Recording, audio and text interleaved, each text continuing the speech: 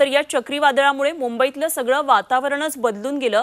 ऐन मे महिन्यामध्ये पाऊसधारा बरसल्या सोसाट्याचा वारा सुटला. सोसाट्याचा वारा आणि संततधार पाऊस यामुळे मुंबईतल्या तापमानामध्ये घट झाली आज देखील मुंबईतलं तापमान हे कमीच राहणार आहे. पावसाच्या हलक्या सरी कोसतील असा अंदाज हवामान खात्यानं वर्तवलेला आहे. मे महिन्यामध्ये मुंबईत सर्वात कमी तापमानाची नोंद यंदा झालेली आहे. मंगळवारी केवळ पंचवीस अंश सेल्सिअस तापमानाची नोंद झाली आहे. चक्रीवादळामुळे सध्या मुंबईमध्ये हवामानातला हा बदल दिसतोय. दादर परिसरातून याच संदर्भातला आढावा घेतला आहे आमच्या प्रतिनिधी रुचा वझे यांनी.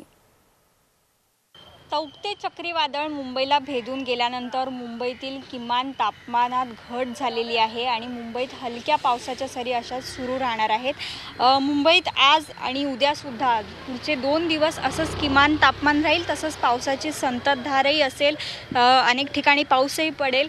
खरं तर मे महिन्यात अशा प्रकारे मुंबईत किमान तापमानात घट झाली. मे महिन्यातही मुंबईत सोसाट्याचा वारा आणि तापमानात घट झाल्यामुळे पावसाची संततधारही होती. त्यामुळे त्यामुळे थंड वारेसुद्धा वाहत होते. चक्रीवादळामुळे एकंदर मुंबईत हा बदल झाला. आत्तापर्यंत मे महिन्यात हे मे महिन्यातलं हे किमान तापमान सर्वात निच्चांकी किमान तापमान नोंदवलं गेलेलं आहे. सोमवारी आपण बघितलं तर मुंबईत अगदी मुसळधार पाऊस झाला. सोसाट्याचा वारा होता. मंगळवारी सुद्धा पंचवीस अंश सेल्सिअस तापमान राहिलं आणि आता आज किमान तापमानात चार अंश सेल्सिअसने घट झालेली आहे आणि पुढील दोन दिवससुद्धा मुंबईत अशाच प्रकारे तापमानात घट राहील आणि पावसाच्या हलक्या सरी कोसळत राहतील. आजसुद्धा अनेक ठिकाणी आत्ता आता बघितलं तर दादर भागातसुद्धा पावसाच्या सरी कोसळून गेल्या. त्यामुळे पुढचे दोन दिवस मुंबईकरांना या हवामानाचा आनंद घेता येणार आहे. व्हिडिओ जर्नलिस्ट अनिल सौंदडेसह रुचावजे झी मीडिया मुंबई. बहिणाबाईंची जात्यावरची ओवी म्हणजे?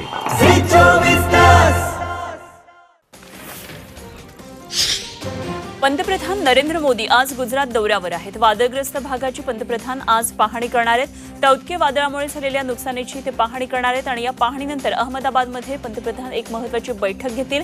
गुजरातचे मुख्यमंत्री आणि अधिकाऱ्यांची मोदी मोदी चर्चा करणार आहेत.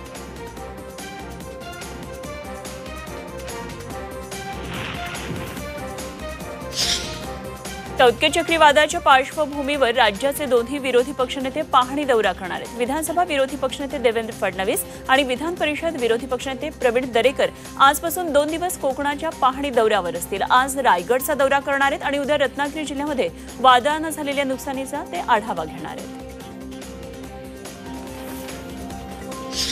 महाराष्ट्रात साडेसहा हजार गावांना तौतके चक्रीवादळाचा फटका बसला पाच राज्यांमध्ये तेवीस बळी गेलेले आहेत आणि कोकणामध्ये एक हजार कोटींचा आर्थिक नुकसान झाले किनाऱ्यावरच्या अनेक बोटींचा चक्का चूर झालेला आहे. राज्यातल्या सहा हजारांपेक्षा अधिक गावांना या वादळाचा जबरदस्त फटका बसलाय. घरांचं नुकसान झालंय. फळबागा उद्ध्वस्त झाल्यात. ठाणे पालघर रायगडमध्ये तर तीस तासाहून अधिक ब्लॅकआउट होता अंधारात होती. विठू माऊलीचा गजर. म्हणजे